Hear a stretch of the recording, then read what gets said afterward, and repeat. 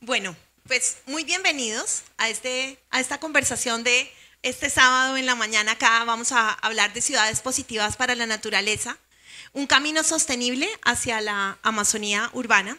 Para mí es un honor estar acá y es un gusto eh, compartir esta sesión eh, con todos ustedes. Eh, nosotros estamos pensando cómo podemos trabajar en un modelo de desarrollo mucho más sostenible para las ciudades en la Amazonía. Y, una inspiración de esto fue eh, pensar en que pudiéramos conversar en este panel em, en esta mañana. América Latina em, es la em, región más urbanizada del mundo y que, las estadísticas muestran que para el año 2050 el 85% de las personas vivirán en las ciudades. Y además también sabemos, hablando en la COP de biodiversidad, en esta eh, COP 16 en la que estamos hoy aquí en Cali, eh, la importancia que tiene la biodiversidad para el mundo. Y mm, el 40% de esa biodiversidad lo aporta eh, la Amazonía al, mundo. Entonces, la pregunta es, bueno, ¿y la Amazonía, la urbanización en la Amazonía, cómo es? Y de eso vamos a hablar un poco hoy y cómo Em, esa, urbanización sostenible puede ser una oportunidad para la biodiversidad. Em, lo primero que tal vez quisiera mencionar es que el Banco Interamericano de Desarrollo está muy comprometido con la Amazonía y tiene em, el programa Amazonía Siempre. Estamos en el eh, pabellón de, Amazonía Siempre. Y uno de los temas eh, en los cuales estamos eh, trabajando de manera muy activa es cómo podemos eh, mejorar esos procesos eh, de urbanización en la Amazonía. Sabemos que las ciudades en la Amazonía, que son ciudades intermedias y pequeñas dentro de los ocho países de la región, son ciudades que están creciendo más rápido em, que, están, que el promedio de sus países. Entonces, la pregunta es, ¿cómo podemos aprovechar esta urbanización? Que pueda ser mucho más sostenible para contribuir en todas las mejoras de biodiversidad que necesitamos eh, en la región. Em, en este mismo contexto de la importancia que tiene eh, la, sostenibilidad de las ciudades en la Amazonía para la Amazonía, em, el banco eh, apoya el Foro de Ciudades Amazónicas y hoy nos acompañan aquí los dos vicepresidentes del Foro de Ciudades Amazónicas, la alcaldesa Em, de Cobija, eh, Ana Lucía Reis, y el alcalde de Mainas, eh, el alcalde Vladimir Chong, para tener esta conversación eh, con todos nosotros. También tenemos em, a Luisa de ICLEI que nos va a contar sobre el trabajo que está haciendo ICLEI justamente para conectar estos desafíos de cambio climático con la biodiversidad. Nos acompaña de manera virtual Sebastián Nieto de la OSD, para contarnos también un poco cuál es la perspectiva eh, desde la OSD eh, de esta conexión eh, urbana con la biodiversidad. Y nos acompaña también Fernando del Valle, que trabaja en terrazas, es parte del directorio de, de terrazas, para contarnos un poco de los instrumentos financieros que se tienen para trabajar en la biodiversidad. Entonces, ese es el panel que vamos a tener hoy. El, Foro de Ciudades Amazónicas eh, es una iniciativa de los alcaldes de las ciudades de la Amazonía eh, que promueven la sostenibilidad eh, urbana de la Amazonía y la importancia que tienen estas ciudades para la Amazonía. Entonces, creo que sin más, me gustaría darles la palabra a los alcaldes y que empezáramos a tener esta conversación del día de hoy. Entonces, eh, tal vez para los dos, para que los dos eh, nos contesten y empiecen a poner un poco en contexto las ciudades eh, Cobija en Bolivia, Mainas en Perú, adentro en la, en la Amazonía. ¿Cuáles son los desafíos más significativos que ustedes enfrentan en las ciudades en los temas de planeación urbana?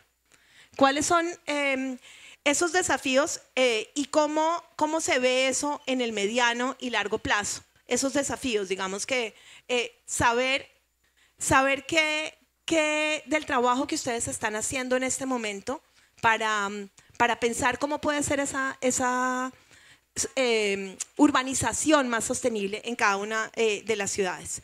quisiera darles la palabra, eh, alcaldesa Ana Lucía.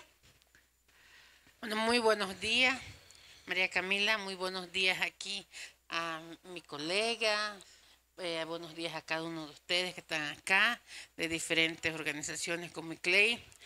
Eh, a cada uno de ustedes muchas gracias por, por permitirnos estar acá, como siempre, al BIT.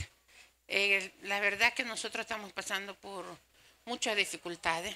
Me gustaría muy rápido eh, contarles lo que está pasando en este momento, que también tiene que ver con todo este proceso. Hace como dos o tres semanas atrás, nuestro nivel del aire llegó a 587, nivel de contaminación del aire. 587 en que no mirábamos más nada al frente y el color amarillo, no era ni siquiera como una neblina, era amarillo, tan pesado que estaba la contaminación. En Bolivia se quemó este año más de 10 millones de hectáreas. Entonces es tan triste y parte de eso es la Amazonía. Claro que la contaminación venía desde el resto del país, la chiquitanía más que todo, tanta quema, y también Brasil, Perú y el restante de nuestro departamento. ¿no? Pero lo más triste de todo que lo bueno es el país, el, gobierno, hizo una pausa ecológica donde prohibía todo tipo de quemas, porque desde el 15 de septiembre se iba a aperturar la quema legal. Entonces el gobierno dicta una pausa ecológica. Y el sector campesino, el que vive, necesita y depende diariamente del bosque, hace un bloqueo solicitando al gobierno que no pueden prohibir las quemas que todos quieren quemar. Porque si no queman, ¿cómo van a sobrevivir? ¿Cómo van a comer? Siendo que ni siquiera cultivamos en nuestras tierras. No son tierras de cultivo. Nosotros vivimos de lo que nos da el bosque. ¿Qué ocurre en nuestras ciudades amazónicas? Cobija es la capital de la Amazonía boliviana. Somos un municipio que según el censo estamos con 54 mil habitantes, pero estamos con unos 70 mil, ya que muchos se van a, registrar justamente en el área, en otros municipios donde tienen sus tierras. ¿no? Cobija ha crecido de una manera sumamente desorganizada con invasiones, ¿no? Entonces en áreas donde a poco tiempo atrás era bosque todavía han cortado completamente y se crearon nuevos barrios donde nos dificulta a nosotros como municipio poder realmente planificarnos, trabajar bien y con los pocos recursos que cada vez tenemos menos y las exigencias son cada vez mayores. Entonces la falta de área verde dentro de nuestras ciudades amazónicas está generando un grande problema, ¿no? Y es lo que se viene trabajando ahora. Y justamente en la, en la segunda parte vamos a hablar sobre cómo realmente la participación de la cooperación internacional está apoyando a que podamos ir modificando un poquito esta situación, cambiando y transformar a Cobija o todas nuestras ciudades amazónicas en verdaderas ciudades amazónicas, que ahorita parecen más ciudades de las tierras altas, ciudades altiplánicas donde no existen bosques, ¿no? Caminamos al mediodía bajo un sol, sol fuertísimo, un calor impresionante. Realmente los cambios climáticos vienen afectando mucho. Vivimos de la castaña, somos el mayor exportador del mundo de la castaña. Eh, vivimos también del azaí y de otros frutos de la Amazonía, pero que este año lo tenemos mínimo.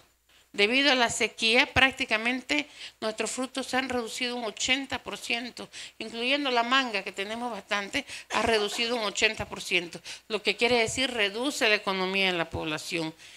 Tuvimos este año un febrero completamente inundado, como nunca antes, 17 metros de altura, y una Amazonía en llamas. ¿no? Entonces, como ven, seguimos con muchos problemas, pero al mismo tiempo nosotros mismos incentivamos y exigimos que esta situación continúe o se perjudique mucho más. Entonces, como ciudad de Cobija, ahorita es trabajando en tratar de mejorar la situación en que vivimos, ¿no? Con toda la parte de urbanización, mejorar lo que ya está hecho, que no es fácil, y lo más difícil es cómo realmente lidiamos con la mentalidad. Gracias. Gracias. Alcalde, por favor, cuéntenos de... Gracias. Perdón, dos, dos, claridades. La primera es que las castañas en, en colombiano se llaman las nueces del Brasil Y eh, también quisiera localizar un poquito, alcalde, eh, que para muchos de ustedes no saben que Iquitos es la capital de Mainas. El alcalde es el alcalde de Mainas, para ubicarlos un poco mejor geográficamente para quienes no saben. Sí, gracias. Gracias, buenos días con todos. Gracias, María Camila. Gracias, alcaldesa, señores que nos compartimos este panel. A todos. Eh, es la capital nosotros decimos es la capital de la Amazonía peruana, pero la Amazonía en realidad lo componen eh, varias, varias eh, regiones. La más numerosa eh, es probablemente Loreto, es la más extensiva, la más grande. Y de Loreto, la provincia representativa, la que constituye más o menos el 70% del PBI, es, es, este, es Mainas y la capital es Iquitos. Iquitos está en, el, en la en el río Amazonas. Está, es el puerto fluvial más importante dentro del Amazonas que tiene el, el Perú. Representamos aproximadamente el 28% del territorio nacional como región. Es extenso, limitamos con Brasil, con Colombia, con el Ecuador, principalmente, ¿no? y en la parte sur con, con, este, con Bolivia.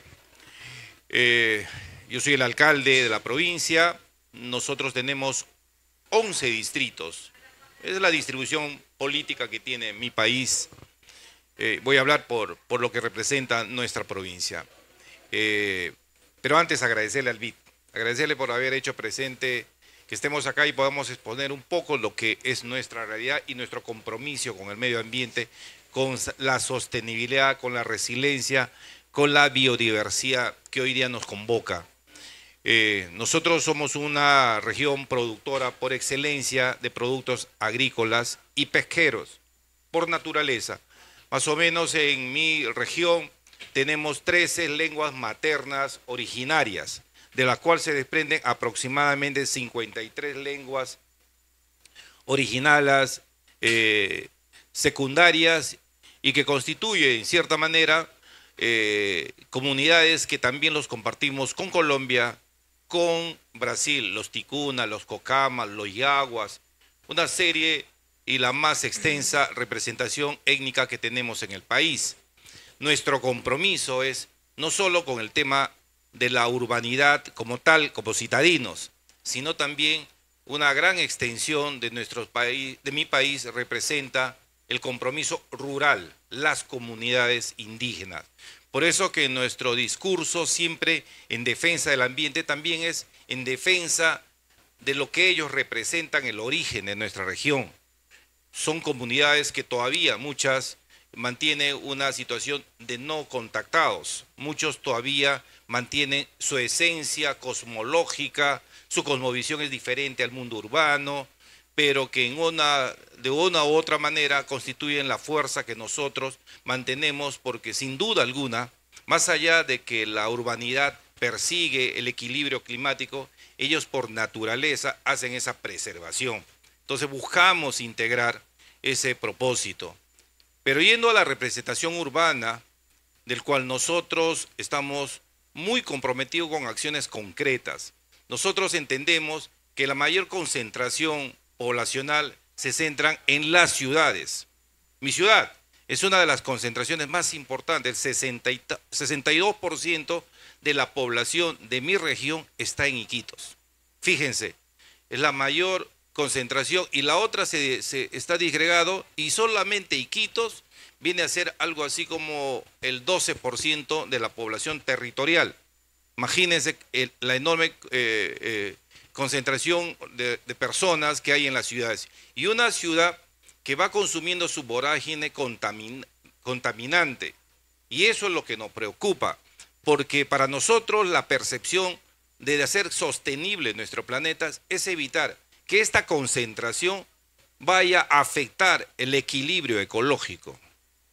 El no tener, por ejemplo, por plantear algunos temas, el no tener desarrollados sus este, plantas de tratamiento de aguas residuales y esa mayor concentración se tiene que vertir sobre el Amazonas, sobre el Marañón, que son vertientes fundamentales para los recursos hídricos de nuestra Amazonía, es crucial, es crucial. El no desarrollar actividades como, por ejemplo, un buen sistema de alcantarillados, de agua potable. Eso también afecta significativamente a nuestro ecosistema. El todavía mantener, y lo mantiene casi toda la Amazonía del Perú, recién a partir de la gestión nuestra, y eso no es una publicidad, es una realidad, este, es el hecho de que todavía mantenemos nuestro sistema eléctrico con hidrocarburos, el más grande contaminante de la Amazonía. No hemos desarrollado todavía eh, los fotovoltaicos, que hoy están muy de moda. Recién, ahora mismo, hemos sacado en concurso para poder iluminar los pueblos de, nuestro, de nuestra ciudad eh, con eh, energía fotovoltaica, que, nos va a ayudar un poco a buscar el equilibrio.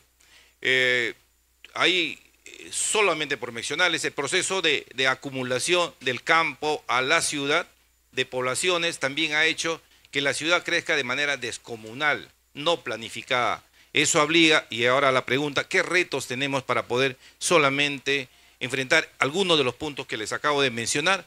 Es el hecho de, por ejemplo, tener claramente definido un plan de desarrollo urbano.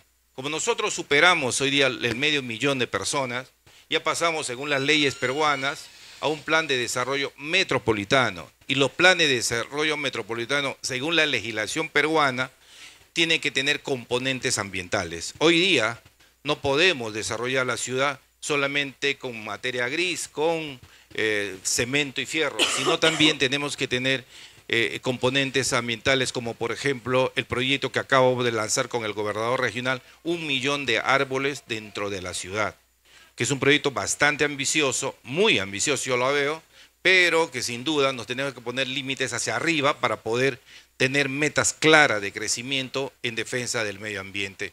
Sin duda, hay algunas cosas que eh, nos ha afectado. Este cambio climático ha hecho que en este verano, que se acabó en este mes, porque ya empezaron las lluvias en, la Amazonía del Perú, eh, ha hecho que pasemos en la, la merma de los recursos hídricos más grande de los últimos 50 años. Eh, lo que habla la alcaldesa de Cobija respecto que esto ha generado los incendios forestales, sin duda. La ciudad tenía un nivel de polución producto de, las, de los incendios forestales históricas. Nunca antes habíamos percibido en el centro, en el casco urbano de la ciudad, respiración de árboles quemados. Nunca. Nunca la Amazonía era un problema porque somos, somos Amazonía baja, es un trópico húmedo.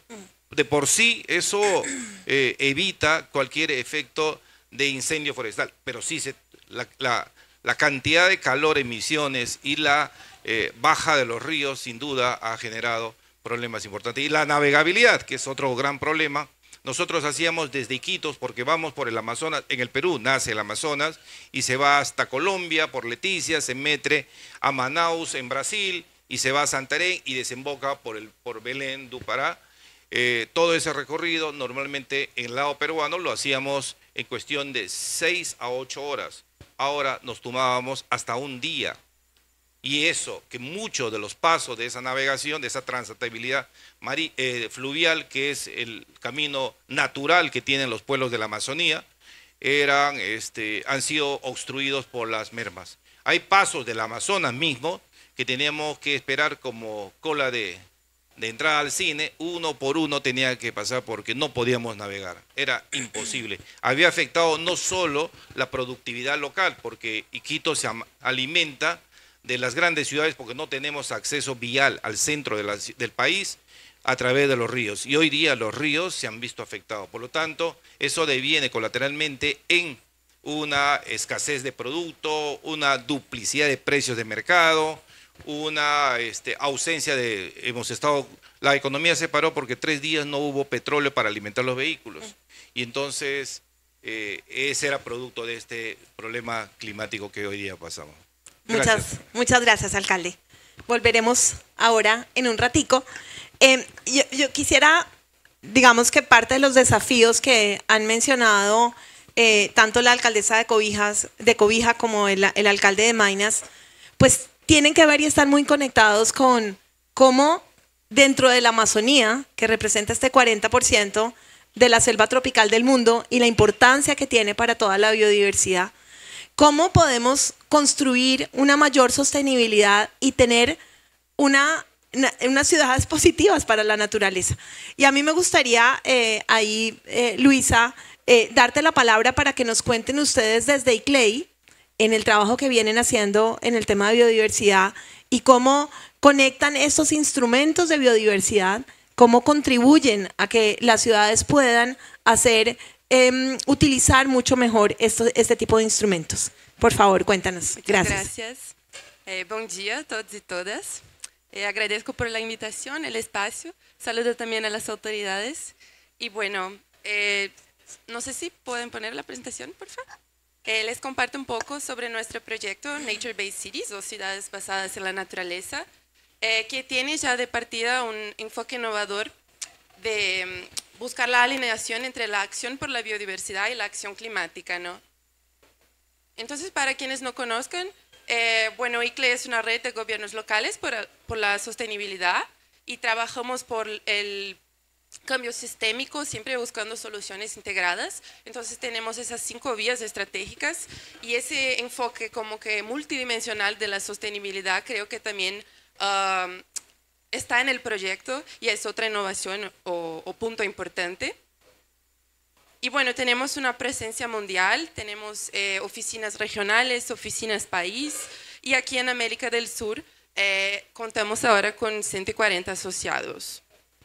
Entonces, en relación al proyecto, como dije, ah, tiene como el objetivo general eh, integrar las agendas de conservación de la biodiversidad y la acción climática. Eh, y es un proyecto que es implementado por ICLEI América del Sur con el apoyo del ICLEI Colombia, eh, con recursos del fondo EVA Fund, que tiene recursos del Fondo Alemán para el Clima y gestionado por la IUCN. Y bueno, es un proyecto que estamos implementando en Belén, la capital del Pará, eh, que es una importante ciudad de la Amazonía brasileña, ¿no? Y tiene una naturaleza muy potente, una rica biodiversidad, o sea, tiene muchas, eh, una potencialidad muy, grande y al mismo tiempo sufre con muchos de los desafíos que hemos escuchado también en las intervenciones anteriores. Entonces el proyecto viene con ese objetivo de ampliar ese potencial de Belén para que la ciudad sea un modelo de ciudad amazónica con un desarrollo urbano basado en la naturaleza, eh, resiliente al cambio climático, eh, centrado en las personas, ¿no? Y también en un contexto de fortalecer el camino de la ciudad en el, eh, hacia la COP30, ¿no? Entonces, de aprovechar ese contexto de proyección internacional eh, para fortalecer la agenda eh, de la Amazonía urbana, de las distintas Amazonías urbanas en las agendas internacionales del clima y la biodiversidad. Entonces, tenemos diferentes líneas de acción. Eh, fortalecer las capacidades y la gobernanza, producir documentos técnicos para una planificación basada en datos, promover la cooperación y la articulación eh, por medio de eventos y también fortalecer el financiamiento climático para, de hecho, avanzar con la implementación. Entonces, en relación a, gobernanza y fortalecimiento de capacidades, pienso que aquí eh, tiene mucho que ver con el legado que se deja a la ciudad y lo que se logra internalizar. Eh, y pienso que ese es un punto muy importante cuando hablamos de cooperación internacional especialmente en el contexto del sur global.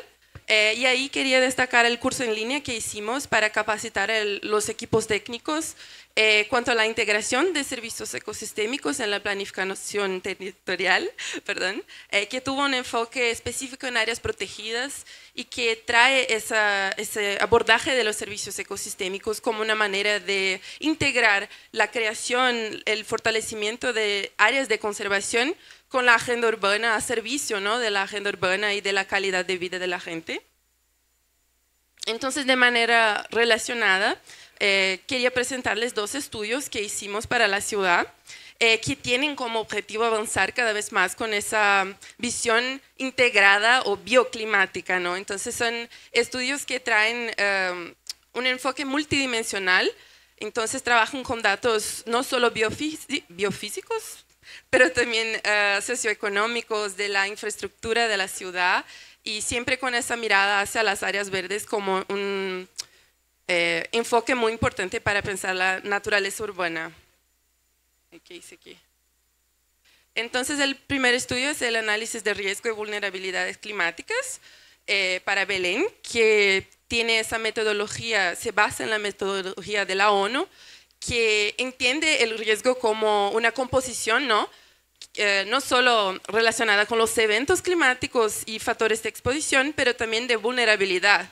Entonces, eso es muy importante para considerar también las diferentes realidades intraurbanas de cómo la gente puede adaptarse o, o mitigarse, protegerse contra esos riesgos. Uy, ¿qué hice?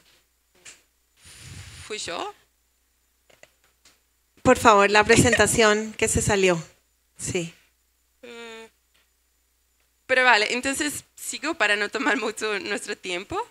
Eh, pero para Belén analizamos tres riesgos climáticos que son más eh, destacados en el contexto local. El riesgo de inundación, erosión costera y de islas de calor urbanas, integramos esos tres riesgos y ahí tenemos el riesgo climático crítico. Y eso es muy importante para que la ciudad pueda definir áreas estratégicas donde esos efectos o impactos de los riesgos pueden estar combinados. Y especialmente para que las soluciones tengan en mente que tienen que ser integradas. Y ahí tenemos un espacio muy relevante para las soluciones basadas en la naturaleza, que en general tienen ese aspecto de proveer co-beneficios, ¿no? Y el segundo estudio que quería presentarles. Ah, mira, aquí tenemos.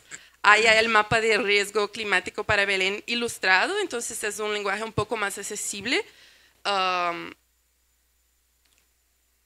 y además de esa mirada a los datos, también tenemos eh, la aplicación de herramientas que miren a la gobernanza, entonces siempre mirando eh, en cómo hacer con que esos datos puedan ser útiles a la, la gestión local, ¿no? Ahí está, el segundo estudio es el diagnóstico de servicios ecosistémicos que va a mirar entonces a la potencia de la naturaleza, eh, esas contribuciones de la naturaleza o los llamados servicios ecosistémicos a la gente eh, y también las amenazas en la ciudad que pueden eh, afectar esos servicios. ¿no? Entonces tenemos los servicios de regulación, incluso ahí del clima, la cuestión de la regulación y provisión hídrica, también la provisión de alimentos y plantas medicinales, con destaque para el extractivismo y la sociobioeconomía, que es muy relevante en el contexto amazónico, y también está relacionado con los servicios ecosistémicos culturales, que tienen que ver con los valores materiales ¿no? de la naturaleza. Eh, y esa metodología del diagnóstico eh, combina entonces esos mapas, esos datos que son generados por geoprocesamiento, modelos computacionales, con momentos de escucha de la gente, ¿no? Y eso es muy importante para tener en cuenta las diferentes dimensiones que tiene la naturaleza para la vida cotidiana. Entonces tenemos mapeos participativos y otros momentos de escucha. Y como resultado tenemos ese, uno de los resultados, el mapa ilustrado. Eh, he traído este material impreso, si quieren. Eh, y ese material es un resumen de, de los resultados del diagnóstico. Y pienso que es una herramienta muy importante de educación ambiental, de sensibilización y creo que tiene todo que ver con, las, eh, con lo que decían antes de eh, la mentalidad de la gente, ¿no? O sea, de mostrar a las personas la importancia que tiene la naturaleza para la identidad de la ciudad, para la calidad de vida y también en sus propias palabras, ¿no? Porque eso fue construido en conjunto con la ciudad de Belén. Eh, entonces la cartilla de comunicación trae también datos sobre la biodiversidad local. Si quieren mirarla pueden escanear el código. Y, bueno, creo que los dos estudios esos que he mencionado tienen resultados complementarios que justamente eh, nos indican que las áreas donde se concentra el riesgo son precisamente donde la naturaleza ya no opera eh, en todo su potencial. Entonces tenemos ahí un espacio para las soluciones basadas en la naturaleza. Y, eso fueron aportes, um, contribuciones muy importantes que estamos ahora llevando al, desarrollo del Plano de Acción Climática de Belén, para que considere la naturaleza como un, elemento importante para la acción climática y que estamos haciendo con el apoyo del BID. Y bueno, creo que son aportes también para nuestro camino hacia la COP, ¿no? Que um, hablar de, de, de, clima, especialmente en la Amazonía, es también hablar de biodiversidad, sociobiodiversidad y de las ciudades, ¿no? Y bueno, es eso, no sé si. Muchas gracias. Tengo aquí el material si quieren mirarlo después. Gracias. Gracias, Luisa. Em, bueno, pues creo que aquí se ha ilustrado un poquito eh, la realidad de nuestras ciudades amazónicas eh, con Cobija, con Mainas y ahora lo que nos ha contado eh, Luisa del trabajo en, en Belén. Me gustaría pasar a Sebastián, quien nos está acompañando de manera virtual. Les pido a los técnicos ayuda, por favor, para, para conocer un poco el trabajo desde la OSD. Gracias, Sebastián. Em, me, gustaría que nos contaras un poquito el, trabajo que ustedes hacen de la OSD para apoyar a los países de América Latina y el Caribe. Hay, hay, un, hay un dato muy importante desde el punto de vista urbano y es que eh, en las ciudades amazónicas el, el 70% de la gente en las ciudades, en, en la Amazonía, vive en las ciudades. Entonces, el impacto del trabajo que podemos hacer en los países para apoyar a los países eh, en la cooperación, en los indicadores, en el trabajo para priorizar inversiones, no solamente eh, climática, sino también de naturaleza, eh, como lo hemos venido conversando. Me gustaría que nos contaras un poquito qué, cuál es el trabajo que están haciendo ustedes desde, desde, desde el área de apoyo a América Latina y, y cuál es el trabajo que podría inspirar incluso lo que estamos haciendo en las ciudades amazónicas. Bueno, muchas gracias Mara Camila, muchas gracias al, al BID por esta invitación. Una lástima no estar con ustedes, pero creo que fue sumamente útil eh, oír a la alcaldesa de Cobija, Ana Luisa, al alcalde de, de Vainas, Vladimir, porque esto nos ayuda mucho a entender cuáles son las dinámicas de estas ciudades y cómo desde la OCDE podemos colaborar somos totalmente complementarios al BID. Digamos que nosotros no somos un banco, somos una institución que damos buenas prácticas de política pública, compartimos experiencias entre países, entre regiones, entre ciudades, y es ahí donde vemos un valor agregado para todo el trabajo que podemos hacer con ustedes y que sin duda alguna muchas de las cosas que hoy tanto de la alcaldesa de Cobija como el alcalde de Mainas podemos eh, colaborar a partir de varios instrumentos que tenemos en la OCDE. Por un lado, eh, en la OCDE tenemos instrumentos o estándares sobre políticas para preservar la fauna y la flora, también pues para mitigar y, pues todo lo vinculado también con la adaptación al cambio climático, que va muy en línea con varios aspectos que ustedes mencionaban sobre la gestión de una mejor calidad del aire, del agua, de la energía, también la preservación de los bosques o eh, inclusive lo que decía el alcalde de, de Maina sobre eh, ser un puerto, lo que implica y todo lo que tenemos nosotros sobre análisis de ciudades eh, puertos. Así que eso como punto de partida de, de todo lo que tenemos de instrumentos eh, y de, de, experiencias sobre estos aspectos. Otra parte muy importante de la OCE es sobre evidencia empírica, datos que podamos comparar. Y algo que yo creo que es eh, fundamental a tener en cuenta es que pues América Latina y en particular cuando vemos los países de, del Amazonas, pues la ayuda al desarrollo no va a ser la solución. Estamos hablando que es solo 0.5% del PIB lo que tenemos en, en, estos países y por lo tanto, pues eh, a ustedes como alcaldes, pues también lo que tenemos finalmente de, de, ingresos por la ayuda al desarrollo es muy poco. Entonces hay que ver qué alternativas de cooperación eh, técnica, eh, también basada precisamente en transferencia de tecnología, en compartir experiencias, en cómo seguir un proceso en el cual todos estemos al mismo nivel es fundamental. Y ahí pues algo que, que también mencionaba pues Luisa de, de, Clay, yo creo que ahí pues eh, eh, muy en línea con lo, con lo que decía Luisa, pues nosotros también tenemos un enfoque multidimensional, de forma tal que tenemos que ver cómo eh, no es solamente tener en cuenta todo lo necesario para que sea sostenible ambientalmente, pero también que tengamos una mayor inclusión, mejores empleos de calidad, gracias a todo un proceso de mejora en cuanto a los indicadores de medio ambiente en las ciudades. Y algo que, pues, eh, sin duda alguna, pues, nosotros hacemos en el equipo de América Latina es ver los planes de desarrollo. Por supuesto, están los planes de desarrollo nacional, pero ya eh, el alcalde de Mainas, Vladimir, lo mencionaba, el plan de desarrollo urbano. Y es como Finalmente tenemos un proceso en el cual es basado en evidencia, en consensos entre diferentes actores, la sociedad civil, el sector privado, y que sea realista en cuanto a su implementación. Ahí pues también eh, tenemos bastantes trabajos en, la OCDE sobre las estrategias de desarrollo, cómo tiene que seguir un enfoque multidimensional, muy en línea con lo que decía Luisa también, de todo el aspecto social que tiene que estar detrás, y eh, finalmente, pues que tenga también uh, una, eh, un esquema de inversiones para cada uno de los ítems que queremos desarrollar en esos planes. Así que, pues, eh, muy interesante haber oído a, la alcaldesa de, de Cobija, al, alcalde de Mainas, porque sí nos ayuda a ver de qué forma, cuál es el punto, cuál es nuestro aporte a, esta discusión. Nuevamente, no somos un banco, lo que hacemos es compartir experiencias, análisis y recomendaciones que sirven las experiencias internacionales, pero sin duda alguna lo que hacemos también es traducir, adaptar al contexto local de cada una de sus ciudades. Así que, de nuevo, gracias María Camila por, por esta invitación. Eh, muchísimas gracias, eh, Sebastián. Ahora a mí me gustaría saltar al tema financiero, Eduardo, y, que nos contaras un poquito del trabajo que ustedes hacen desde Terrazas. ¿Qué quiere decir trabajar con instrumentos financieros para la biodiversidad? Y eso, em, digamos que pensando en, las ciudades amazónicas eh, y, y en la posibilidad de aprovechar muchísimo más nuestra biodiversidad.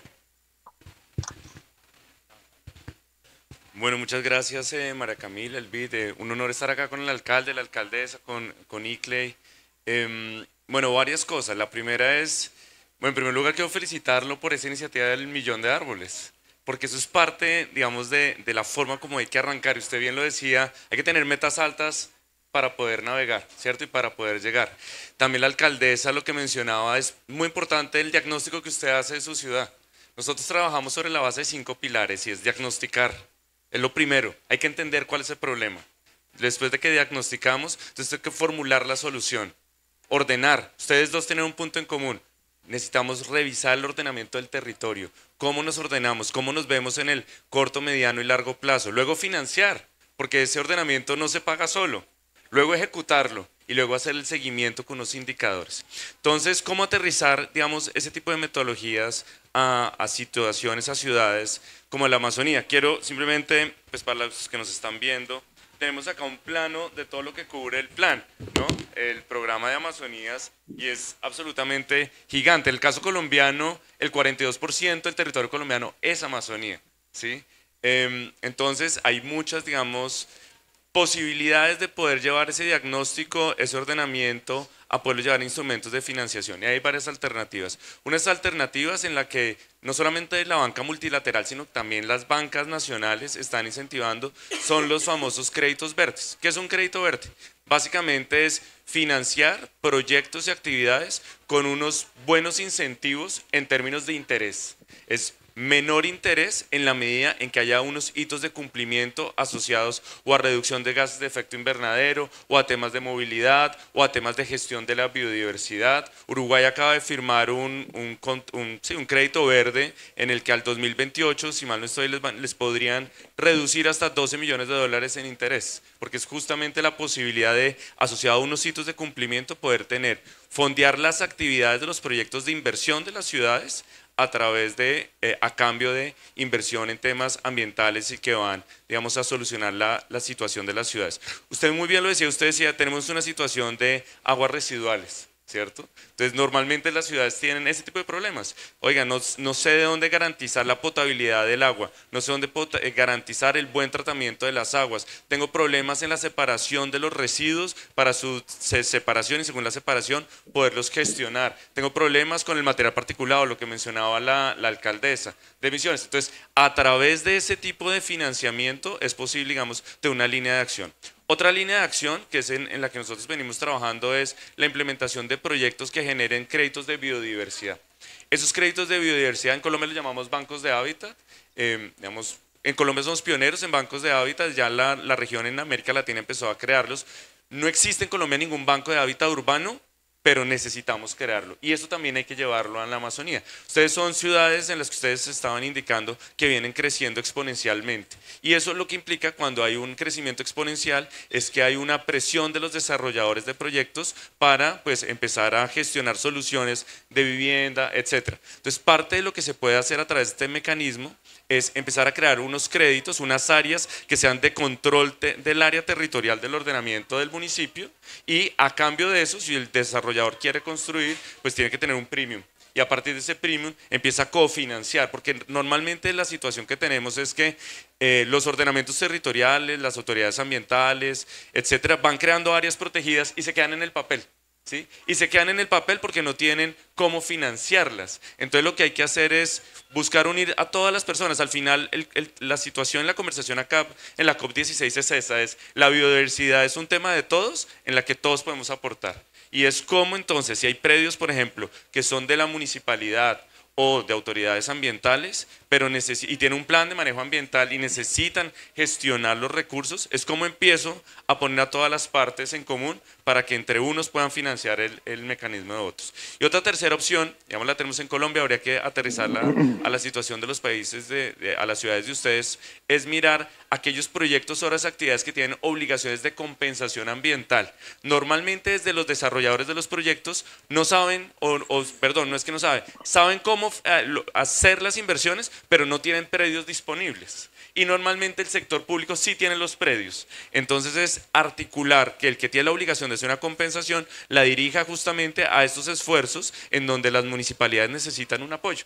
De manera que se puedan entre todos complementar las acciones para poder garantizar la conservación de lo que hay y como bien decían ustedes, tenemos situaciones de talas indiscriminadas, etcétera, la restauración. Entonces, esos son tres ejemplos de diferentes instrumentos, digamos, que pueden haber desde el punto de vista financiero, que involucran no solamente lo financiero, sino la articulación interinstitucional con la cual se puede buscar lograr que todos esos planes que ustedes tienen como alcaldes y como alcalde y como todos los alcaldes de, y alcaldesas de la región, los puedan poner en práctica y avanzar. De manera que al final de su periodo puedan decir, mire, logramos esto, esto fue lo que encontramos, arrancamos y acá les dejamos un legado. Que al final lo que importa es que sean asuntos eh, que permanezcan en el tiempo. Muchas gracias, eh, gracias Eduardo. Creo que eso nos ayuda a, pensar en, posibilidades, em, en algo muy, muy importante que tiene que ver con medir, con tener unos planes en los cuales sabemos cuáles son los riesgos, em, conocemos cuáles son los activos de naturaleza que tenemos eh, en nuestras ciudades y a partir de ahí empezar a trabajar para buscar oportunidades financieras eh, para las ciudades. Así que es clave eh, arrancar con esos planes, arrancar a medir eh, para poder utilizar este tipo de instrumentos.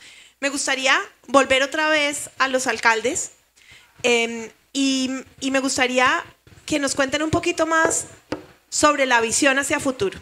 Estamos todos esperando esta COP en la región, camino hacia Belén, como decía hace un rato Luisa. Em, somos conscientes de los desafíos que están enfrentando nuestras ciudades, em, las sequías, de las inundaciones, de los incendios, em, del desafío tan grande que tenemos eh, en pensar cómo em, el, el, proceso de urbanización es una oportunidad eh, para trabajar juntos en la sostenibilidad de la Amazonía. yo quisiera eh, preguntarles a los dos alcaldes cómo ¿Cómo ven, cómo tienen esa visión de su ciudad? Ya nos contaron un poquito, ilustraron al, público un poco de, cuáles son los desafíos que tienen ustedes en las ciudades y los temas en los cuales están trabajando. Ahora me gustaría que nos contaran un poquito sobre la visión de dónde, hacia dónde vamos, hacia dónde van em, Cobija, Mainas, Em, eh, trabajando con el, con el trabajo que ustedes están haciendo y con, y con muchos otros eh, actores claves en el desarrollo. Bueno, lo más importante es de lo que hablamos al inicio y ahora, es la visión de la gente que vive en la ciudad. Lo primero es que no nos olvidemos que somos Amazonía, que vivimos de los frutos y que tenemos que promocionarlo cada vez más ¿no? dentro del país y fuera del país, justamente a través de las diferentes actividades que tenemos y atraer también la atención de la cooperación internacional. La verdad es que mi experiencia con estas participaciones que tenemos ahora está trayendo cada vez más a la cooperación, donde se van creando programas importantísimos. Por ejemplo, con el BID en este momento ya tenemos la consultora trabajando para una ciclovía dentro de tres ciudades Cobija, Brasileia y Epitaciolândia. Entonces son tres ciudades juntas, aunque somos dos países, pero muy integradas. Nos necesitamos cada día una a la otra. Tenemos 8 mil estudiantes brasileros en Bolivia, usamos el servicio de salud de las atenciones de, de, nivel especializado gratuitamente en Brasil. Entonces hay esa conexión muy grande. Entonces mostrar siempre, ¿no? Primero a la población y buscar cada vez de tener más áreas verdes. Por ejemplo, hoy en día toda nuestra política es de aumentar cada vez más. Ahorita tenemos como 10 metros por, por, cada habitante, pero nuestra meta es llegar a 15 metros de área verde por habitante. Y para eso trabajamos ya durante estos tres años, cada día, reforestación de las cuencas de nuestro arroyo que nos da el agua. El año pasado tuvimos problemas casi en todo el país con falta de agua y Cobija justamente ya por haber adelantado la reforestación también con cooperantes, eh, justamente se ha prevenido este problema. Entonces seguiremos en la reforestación en la ciudad, tenemos avenidas enteras con azaí, ¿no? Y todo tipo de árboles que son de la región. También árboles donde la gente conozca más de sus productos, porque es impresionante, ayer comentaba, de que de Bolivia sale, aunque somos el mayor exportador del mundo de la castaña, salen las cajas que dicen eh, Brazilian Nuts from Bolivia. Entonces imagínense que ni los bolivianos siquiera también conocemos y consumimos lo nuestro, ni sabemos cómo sale, ¿no? Y somos el, el, mayor productor. Entonces, incentivar cada vez más eso a nuestra población, de que tenemos que concientizarnos, estamos con muchos programas, estamos trabajando ahora con gigantografía, estamos trabajando con los colegios y más que todo, como decía, los programas de adoptar un árbol. Ejemplo, yo le decía siempre, les digo siempre a la población, a los niños, ¿cómo puede ser que el día del árbol todos hacemos un show? Vamos a plantar un árbol, le echamos agüita, nos ensuciamos las manos y ahí se quedó todo, se acabó el día del árbol. Siendo que nosotros vivimos en una región donde nunca deberíamos de reforestar porque hemos nacido en el medio del bosque, un bosque de millones de años tan rico, una biodiversidad, una de las mayores del mundo y biodiversidad. ¿no? Entonces, nosotros no deberíamos estar reforestando y más bien estamos reforestando. ¿Y cómo cambiamos la mentalidad de que no tenemos que cortar más nuestros árboles, destruir nuestros bosques? Y lo que siempre pedimos y hacemos es que nuestros frutos hagan parte de los programas del Estado. Ejemplo, la merienda escolar, nuestra por lo menos, incentivamos y creamos grupos de personas para generación de empleo, dando valor agregado a todos los frutos amazónicos, como la castaña, se transforma en galletas y refrescos con azaí para nuestros estudiantes.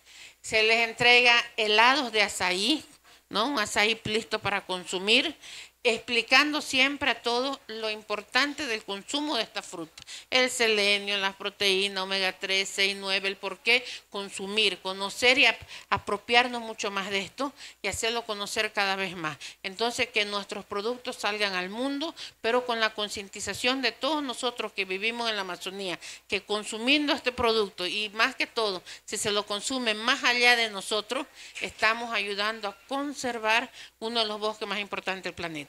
Soy capital, somos ciudad, pero si no tocamos el tema Amazonía y nosotros no somos la ventana amazónica para promover los productos, es muy difícil que la gente del campo lo pueda promover. Entonces nosotros somos los que tenemos que buscar y garantizar el mercado para los productos y así mejorar la calidad de vida de la gente que vive en el lugar, ¿no? Entonces muy feliz con los proyectos que se vienen trabajando agradecidísima porque, como decía, gracias a esta participación es que ya estamos con un avance muy grande. También estamos trabajando eh, con otros tipos de programas que realmente van ayudando a nuestra Amazonía, ¿no? Pero la reforestación en sí, esperamos de que muy pronto podemos decir, caminamos en Cobija, la capital de la Amazonía, al mediodía y no sentimos el sol directamente a nuestras cabezas, ¿no? Entonces otra vez, María Camila, muy feliz de estar acá participando de este, de este día tan importante y aunque muchas veces no lo parece que no fuera importante, pero cómo es importante, le digo, el contacto y llegar a nuestra ciudad, a nuestro pueblo con, con proyectos importantes como nuestra ciclovía, por ejemplo, gracias a ustedes. Muchas gracias, alcaldesa. Alcalde de Mainas, ¿cuál es la visión para cómo nos puede usted con eh, todo este trabajo que ustedes están haciendo, eh, dados estos desafíos eh, que usted ha mencionado en esta primera parte, ¿cuál es la visión de cómo podemos integrar mejor la biodiversidad? ¿Cómo podemos em, ayudar a hacer mucho más sostenible la urbanización en su provincia? Sí, y, sobre todo, ¿qué es lo que nosotros como visión tenemos para hacer una, una ciudad más sostenible, más resiliente? fíjese, eh, antes de anoche estuve en esta maravillosa ciudad. Me, me quedé muy sorprendido porque tenía un concepto diferente. Hoy día he llegado tarde hasta por la distancia, lo enorme que es Cali, la historia que tiene. Eh, me di una vuelta luego del cóctel del BIT, me di una vuelta por la plaza eh, Caicedo, Joaquín de Caicedo, y en uno de los stands en la esquina, no recuerdo la calle, pero ahí nomás, al lado de un escenario que había una fiesta fabulosa, había unos stands que decían cementerio. Cementerio. Y todo el paredón del stand, este que era casi media cuadra, eh, había una enorme cantidad de animalitos que ya no existen hoy día. Se extinguieron esas especies. Había no solo animalitos, sino también vegetales, hasta hongos, microbios, que hoy día ya no existen. Eso es la biodiversidad. Y eso es el compromiso de la COP en esta vez. Es una COP de biodiversidad.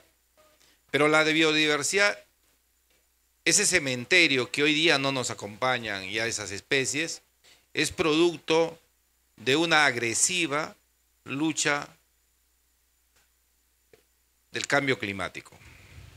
Esas especies se fueron, uno por la expansión urbana, que les ha ido quitando su hábitat, sus espacios, las ciudades. Y lo otro es porque las condiciones de la Amazonía ya no son las mismas. Nunca. En mi ciudad, que es el corazón de la Amazonía del Perú, hemos llegado a 45 grados de temperatura bajo el sol. Nunca. Hoy día eso es una realidad. Creo que dos puntos más ya comenzamos a, freír en la calle. Nunca habíamos visto una sequía tan grande como la que hoy día se vio. Y eso es lo que está destruyendo el hábitat de nuestra biodiversidad. Nosotros como hacedores de políticas públicas, ¿qué podemos hacer para mitigar? Podemos venir con modelos, como explicó Icley, soluciones basadas en la naturaleza, que nos va a ayudar, un montón de cosas que son fundamentales. Pero vuelvo a repetir, ¿qué hacen los hacedores de política? Las autoridades locales quienes tienen el timón de ese barco conductor para ayudar a mitigar, a reducir los impactos que la naturaleza se ve afectada por el comportamiento de las urbes. ¿Qué es lo que está haciendo el gobierno de Mainas? Primero tenemos que tener clarito hacia dónde tenemos que ir. Si no tenemos el horizonte exacto que queremos, reducir dos puntos la temperatura, darle más habitabilidad a los ríos para que la pesquería siga existiendo, hacer que nuestros bosques vuelvan a ser frondosos, espectacularmente bonitos. Hay que tener claro hacia dónde se tiene que ir el sector comercial quién es la que produce más basura en la ciudad. ¿Cómo debemos trabajar la planta de tratamiento de la basura pública? Si debemos poner uno o dos petares en la ciudad para ayudar a vertir aguas más limpias al recurso hídrico más importante que alimenta la ciudad. Para nosotros era fundamental establecer un plan de desarrollo metropolitano decir, en los próximos 50 años, este es el tipo de ciudad que quiero. ¿Dónde tengo que plantar los árboles y qué tipo de especies? Por ejemplo, las palmeras para mí son espectaculares, pero consumen mucha agua y enfría menos. El mamey, bueno, yo le llamo mamey, no sé cómo le llaman en otros países, todos tenemos un... Pero hablamos de la misma cosa. Este es el árbol que, que produce más frío. Lo hemos probado. Lo hemos probado. Pero ¿dónde tenemos que poner? ¿Qué parte de la ciudad está más pelada? ¿Qué parte de la ciudad hay más este cemento que necesitamos equilibrar? Un plan de desarrollo metropolitano, sin duda. Segundo, declarar políticas públicas de control estricto, como por ejemplo la tala de, la, de los árboles. Una guerra declarada contra la industria de la minería ilegal que está contaminando y arrasando nuestros pueblos. Un programa de habitabilidad que nos ayude a evitar los procesos de invasiones poblacionales que puedan existir en puntos clave de la ciudad. Son fundamentales. Si no los tenemos claro, cambiar la matriz productiva de nuestra ciudad, de ser, porque la Amazonía de por excelencia es una industria extractiva. Hemos vivido de la madera, hemos vivido del guano, hemos vivido del petróleo.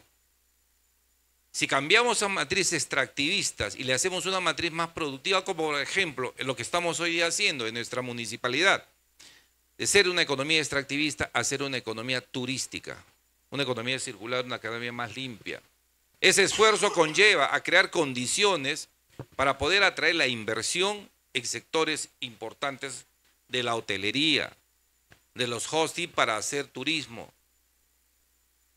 Fundamentalmente en eso es lo que nosotros creemos que debemos apostar para poder hacer una economía, una ciudad más sostenible con nuestro medio ambiente. Muchas gracias, alcalde. Eh, muy inspirador, creo, los dos los dos mensajes de, los alcaldes de, Cobija y de Mainas.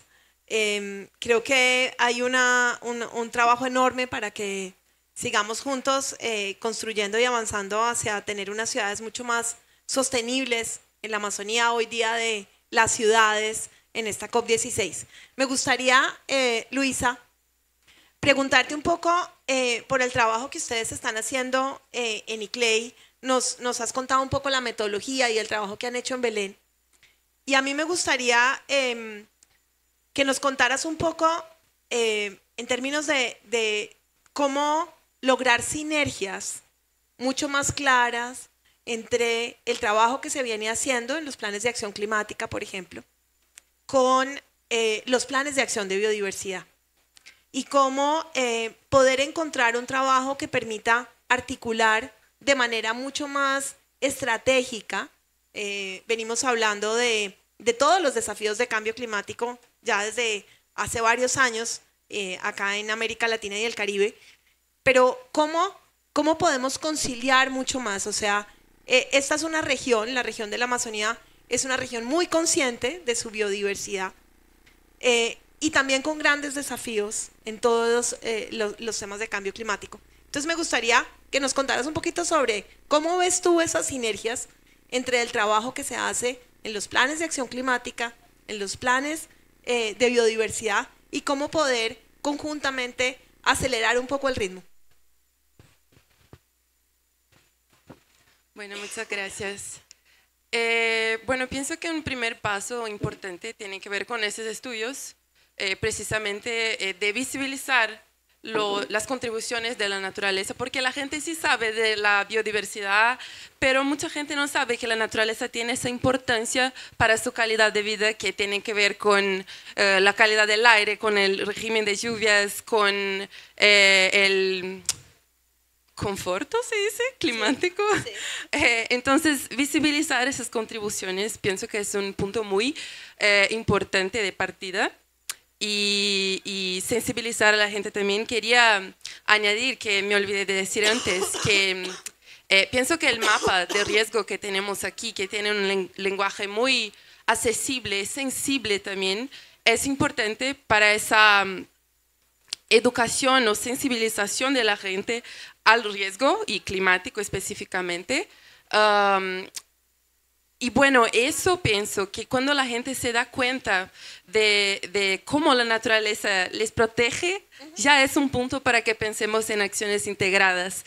Uh, entonces, esa concepción uh, integrada del riesgo apunta ahí para las soluciones integradas y nos hace pensar cómo lo que venimos haciendo puede estar teniendo como impactos negativos incluso. Entonces, cuando hablamos de financiación, eh, hay que pensar si los créditos de carbono también están considerando la biodiversidad, ¿no? Porque podremos tener um, desiertos verdes, ¿no? Entonces, estamos siendo al lado contrario de, que lo, de lo que queremos. Uh, entonces, pienso que es eso, mirar siempre a los um, resultados sistémicos, ¿no? y, y y lo que decía la alcaldesa antes también pienso que es un punto importante de la cooperación, eh, no solo internacional, pero también eh, esa integración transversal de la biodiversidad, que no sea solo una preocupación de las secretarías de medio ambiente, pero también una cuestión de movilidad, de salud pública, eh, de la alimentación, ¿no? Entonces, pienso que todo eso, cuando la gente empieza a mirar a la cuestión de la biodiversidad y del clima, nos van... Um, o sea, empezamos a ver los puntos de conexión y cómo podemos tener soluciones más integradas. Um, y es eso, pienso que tenemos en Belén un ejemplo muy interesante también, que ahora con uh, el desarrollo de su plan de acción climática están haciendo como asambleas regionales en cada parte de la ciudad. Y eso también trae muchas contribuciones de la gente sobre cómo hacer esas soluciones integradas. Bueno. Súper. Eh, eh, muchas gracias. Y, y, creo que esto me lleva a mi siguiente pregunta, Sebastián. Eh, Sebastián, ¿estás ahí? Sí, sí estoy, ah, sí, y oyéndolos muy bien. bueno, gracias. Em, Sebastián, eh, a, a, ante, digamos, como todos estos desafíos, estas eh, conexiones de cómo el trabajo em, se puede hacer en la, región, en las ciudades, en las ciudades que, también son Amazonía. Eh, me gustaría preguntarte un poco como por la información, por los datos, por los indicadores, por dónde empezar. ¿Qué cosas eh, desde ustedes tienen instrumentos súper concretos para empezar con este trabajo? Entonces me gustaría que nos, nos contaras un poquito sobre eso, por favor. Bueno, muy en línea con, con, lo que se mencionaba anteriormente por, por la alcaldesa y el alcalde, eh, eh, pues va muy eh, en, en, nuestra agenda de, de, la OCDE. Efectivamente, por un lado, tenemos evidencia empírica, datos que muestran el impacto que puede tener sobre el empleo, las inversiones en sectores verdes, en particular en todo lo que mencionaban ustedes de alimentos. Es algo que si invertimos cerca de tres puntos porcentuales cada año. De aquí a 2030 podemos generar cerca de 20% adicional en empleo en toda la parte de alimentos. Entonces, lo que se mencionaba tanto eh, por el lado de, eh, de, la alcaldesa de Cobija como el alcalde de Maynes, pues ahí hay un potencial enorme de generación de empleo. Otro elemento también es todo lo que es turismo sostenible. Ahí nuevamente, si invertimos tres puntos porcentuales cada año aquí a 2030 en turismo sostenible, también podemos generar cerca del 15% de empleo en ese sector. Entonces, hay oportunidades, sin duda alguna, con unos retos y que no es solamente eh, retos financieros. Por supuesto, estamos con un espacio fiscal limitado en, en varios de los países que eh, abarcan el Amazonas, pero eh, además tenemos que tener en cuenta entonces que no es solamente una agenda privada, Haber estrategias público-privadas muy interesantes, por supuesto, en todo lo que mencionaba anteriormente, en alimentos o en turismo sostenible, pero no es solamente un tema de capital físico, también tiene que ser de capital humano, porque si no las brechas van a seguir aumentando. Brechas de género, brechas también entre informales y formales, y los menos educados con respecto a los más educados. Es ahí donde vemos precisamente cómo un acompañamiento de la cooperación internacional tiene tiene que tener también en cuenta este aspecto vinculado con el capital humano donde eh, hoy en día pues eh, vemos que si queremos aprovechar la tecnología al máximo y finalmente ser competitivos y exportar todas estas riquezas que tenemos, pues necesitamos sin duda alguna mejores competencias técnicas de eh, los habitantes.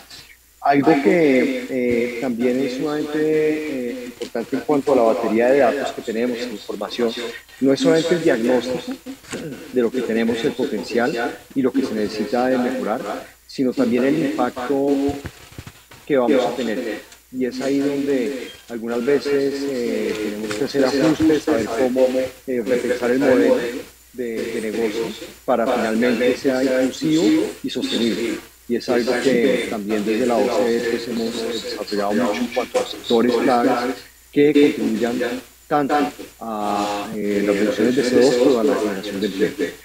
Y un último punto, eh, más allá de los datos y la información que estudió alguna cuando hablamos de, de, exportar todo lo que tenemos de potencial, también tenemos que coordinarnos a nivel internacional. Eh, hay toda una agenda del Pacto Verde Europeo que yo creo que todos eh, tenemos que apoyar, pero que si no lo hacemos bien, si no desarrollamos las capacidades adecuadas y si no es un proceso gradual, finalmente lo que va a hacer es una, una barrera adicional a la potencialidad que tenemos de exportaciones en eh, nuestras regiones por lo tanto pues también tener en cuenta eso en el momento de, de, cooperar eh, con otros actores, sobre todo a nivel europeo, creo que hay una perspectiva de, de desarrollar todo este tipo de, de bienes y, pero eh, sin duda alguna pues se necesita eh, que sea un proceso ordenado. Y es ahí también desde la OCDE que hemos estado insistiendo mucho cómo la gradualidad, transferencia de tecnologías, las capacidades que se pueden también compartir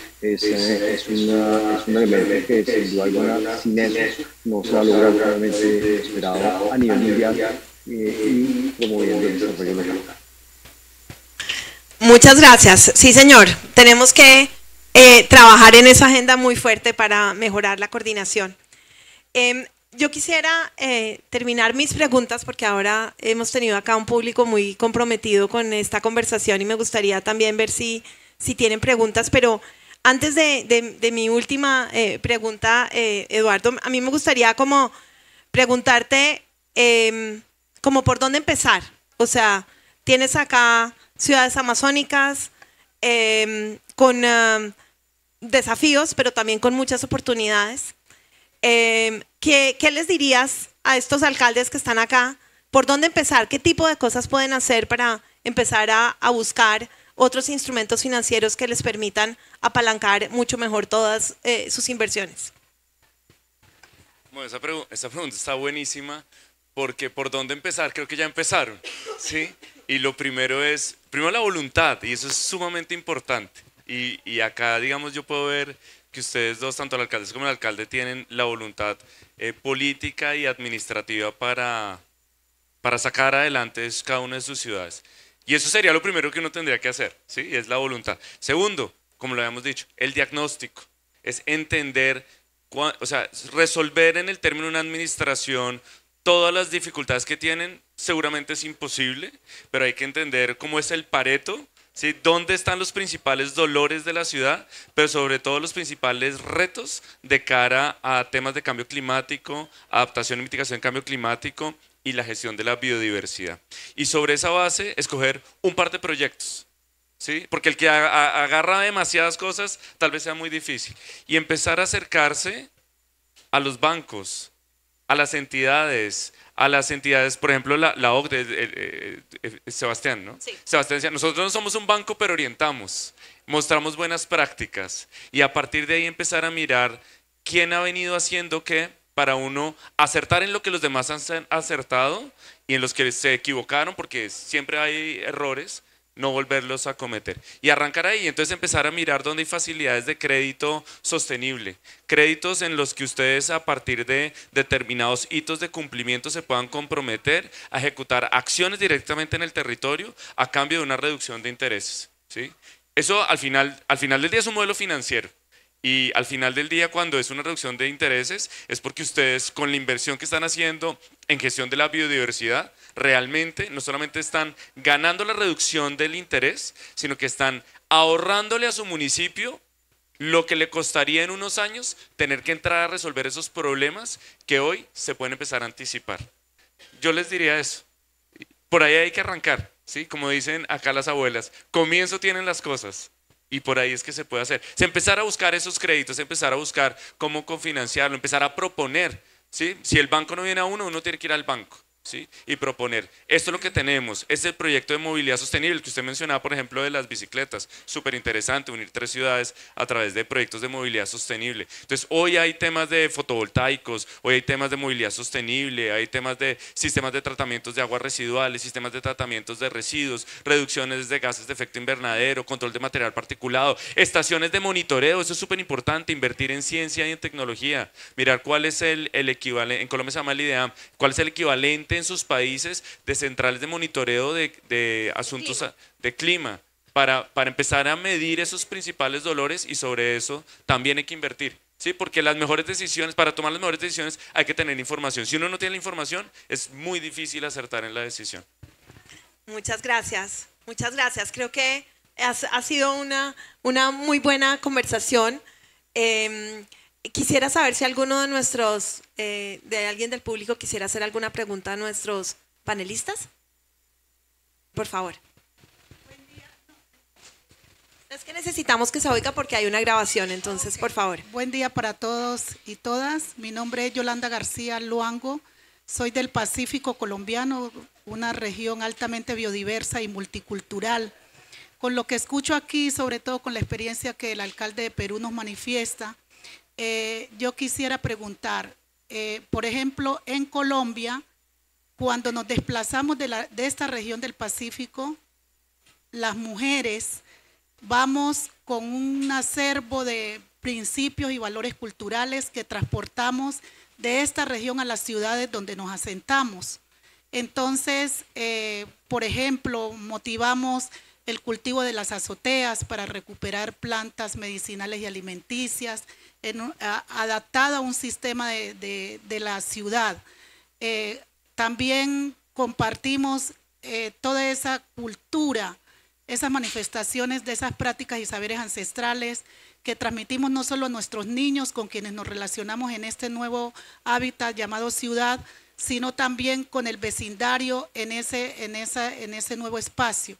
Quisiera conocer ¿Qué experiencias se pueden incorporar en estos planes estratégicos de sostenibilidad en, estas ciudades que estamos proyectando sostenibles, que también incorpore ese aporte y visibilice el aporte y contribución que hacemos las mujeres, por ejemplo, como en este caso, trasladamos eso, ese tipo de valores que son enriquecedores no solo para una ruta turística, sino también para la identidad propia de una ciudad sostenible en esta nueva era.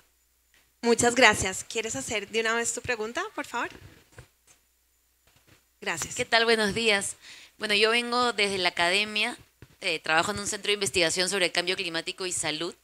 Y mi pregunta era un poco sobre el abordaje de salud. Quería saber si es que todas estas acciones que mencionan que se están tomando para hacer las ciudades más sostenibles, si se articula también con el sector salud o cómo se podría, digamos, articular más con el sector salud si es que no, no se hace. Muchas gracias. Buenos días, mi nombre es Elmira Pineda Salazar, vengo del municipio La Herrera, Nariño, Costa Azul. Eh, y estoy en representación de las parteras tradicionales afro.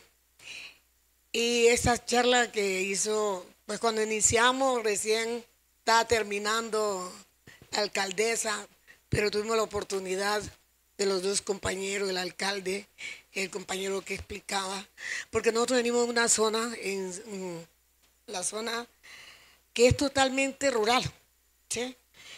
Y por ende se ha venido dando la tala indiscriminada del bosque. ¿Por qué se viene dando la tala indiscriminada del bosque? Motivo porque no hay otra forma de subsistir en nuestras comunidades. Y son pueblos que han venido trabajando arduamente en la agricultura, el bosque, la pesca, lo que tenemos a Gorgona vecino, ¿sí? Y son lugares que día a día sí tienden a leccionarse por la forma de capturar ¿sí? lo que tienen por otras entidades que llegan que en realidad no les duele la realidad. Nosotros como zona de acá del Pacífico tenemos el 100% el control y la salvaguardia de nuestras plantas tradicionales y medicinales y alimenticias. Desde ahí vienen alimentándose y venimos dentro del proceso de nuestros mayores. Esto de los saberes ancestrales viene hereditaria, no hay academia. Eso se va transmitiendo por generación en generación. Nuestra preocupación es que tener un potencial para el relevo generacional. Sabemos que el mundo entero estamos clamando por la sostenibilidad de la biodiversidad, es un pulmón del mundo.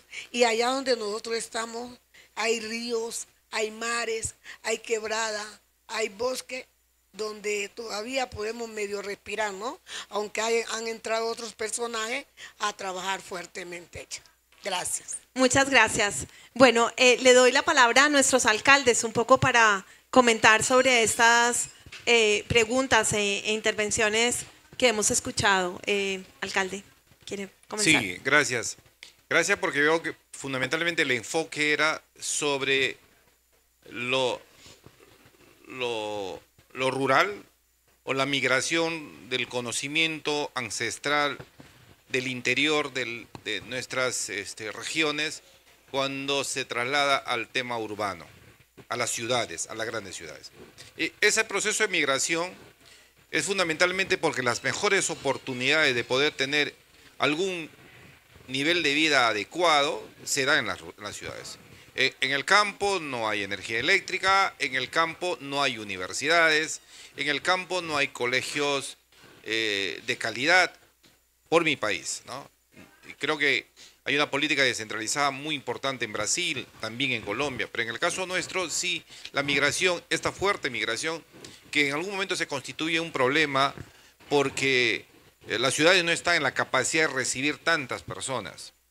Eh, eso, eh, yo como alcalde todos los días lo veo eso y, veo de qué manera podríamos ayudar a que esta incorporación no solo venga por el cambio de localidad o localización, sino también cómo mantenemos intactos o podemos absorber esa cultura ancestral que tienen, ese bagaje de salud, de educación, de cómo ver la vida, esa cosmovisión que yo le digamos siempre, y podemos absorberlos. Entonces, eh, es un terrible problema porque no hay un mecanismo, por lo menos, en mi país, un mecanismo de adaptación apropiado. Tenemos que buscar eh, esquemas que nos ayuden a poder eh, mejorar las condiciones. Pero yo sí, en ese sentido, he sido un poquito más duro he evitado que las comunidades vengan. He evitado. ¿Pero por qué? Hace poquito, creo que les traje un video cuando hace como un mes me fui a una comunidad que está cercana al Ecuador. Una comunidad que se está extinguiendo. Se está extinguiendo porque las personas ya no quieren hablar su idioma, porque la misma sociedad les tiene marginados. Las personas ya no quieren vestir como se vestían hace miles de años, porque ya la sociedad urbana los considera como ciudadanos de segundo nivel. Y esas cosas no pueden haber. Y esas culturas mantienen un tema de la salud pública, por lo menos en sus comunidades, interesante. Ninguno de estas comunidades que he visitado ha muerto por COVID. Ningunos. Y el COVID arrasó en las ciudades. Entonces, ¿cómo perder esa, ese conocimiento? E, ese es un terrible dilema, en realidad, que nos estamos enfrentando. ¿Qué hacer? Pues no sé, lo decías en el tema de la salud. Eh, busquemos, eh, para eso están los institutos de investigación. Ah, justo me saludaba la presidenta del instituto de investigación más importante que tenemos en la Amazonía, ILIAP. Eh, este, y, ellos también están buscando mecanismos cómo podemos recoger, pero también cómo podemos dar oportunidades para que los chicos, ahora mismo en la municipalidad hemos eh, implementado un programa con, con el apoyo del gobierno nacional para atraer de los colegios públicos que cada una de estas comunidades a los dos más calificados para poder eh, eh, instruirlos en las universidades que los tenemos en la ciudad. Y en algunas facultades, y hemos hecho convenio para que el rector de las dos universidades más importantes que tenemos en la Amazonía puedan crear eh, escuelas de agricultura, de enfermería, de educación, de forestales descentralizadas. Se vayan al campo y pongan ahí la sede para poder establecer algún mecanismo. ¿Es oneroso? Sí, sí. ¿Nos cuesta? Sí. Y por eso es importante estos espacios, porque aquí lo que buscamos, más allá de trasladar nuestras inquietudes, también es buscar algo que es fundamental. Uno, la transferencia de capacidades. Necesitamos fortalecer las capacidades de los que toman la decisión, de los funcionarios públicos, no de los, necesariamente de los funcionarios políticos, sino de los funcionarios públicos. Segundo, mejorar la capacidad financiera. Ciertamente el tema de la Amazonía no es un tema de, solo de los amazónicos. El problema de la Amazonía es un problema de todo el mundo, de todo el mundo. Y necesitamos sensibilizar de una u otra manera la cooperación internacional para poder ayudarnos a enfrentar cada uno de estos retos que tenemos en nuestra Amazonía. Muchas gracias, alcalde. Alcaldesa Ana Lucía. Lo mismo que decía el alcalde, nuestras tierras, bueno, son grandes extensiones de tierra, somos pocos habitantes, que ya es demasiado para nuestra Amazonía. Somos 130 mil habitantes en 6 millones de hectáreas, ¿no? Y, pero cada persona más es un problema más serio para nuestra, nuestra Amazonía, ¿no? La parte dura y difícil es que también perdemos completamente parte de nuestra cultura, ¿no? Decirle de que, bueno, primero que siempre hemos trabajado, por ejemplo, con parteras, ¿no? También siempre, siempre creemos en las rezadoras. Nuestro niño le da fiebre, le da dolor de barriga o cualquier cosa, siempre vamos al rezador. Siempre le ponemos a nuestros niños una pulserita roja, ¿no? Para evitar el mal ojo, como dicen.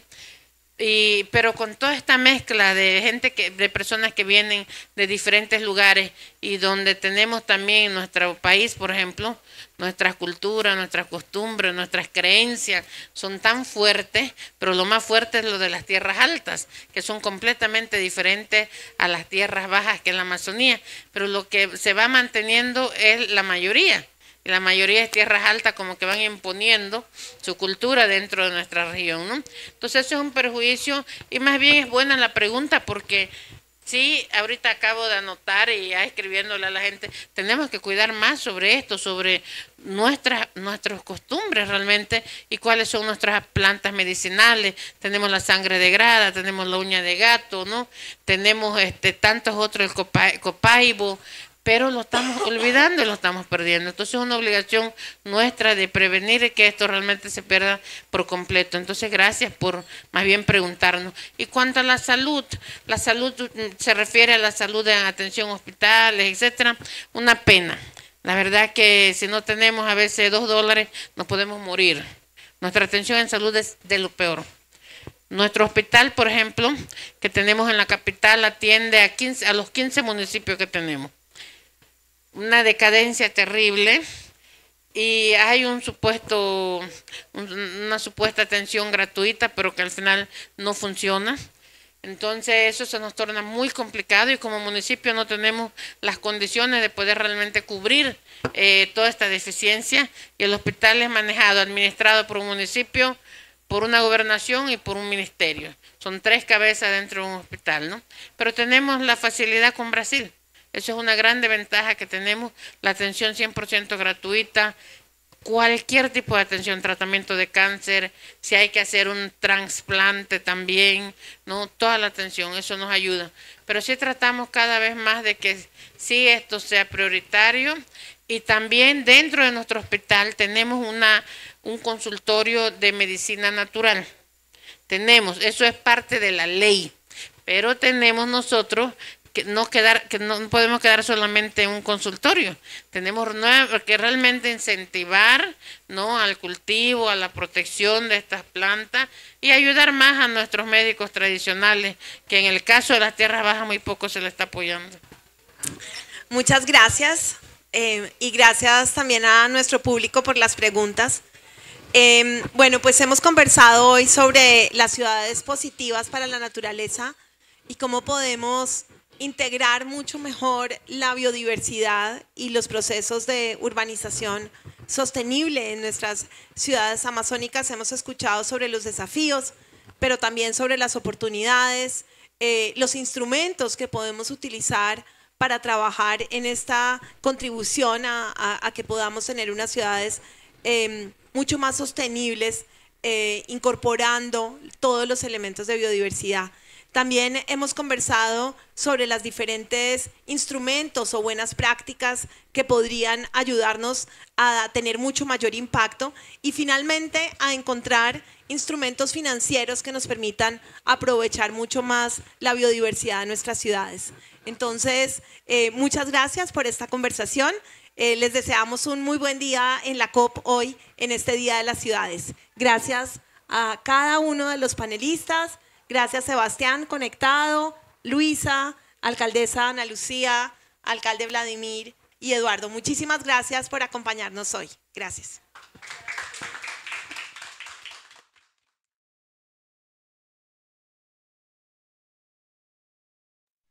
Bueno, muy bien.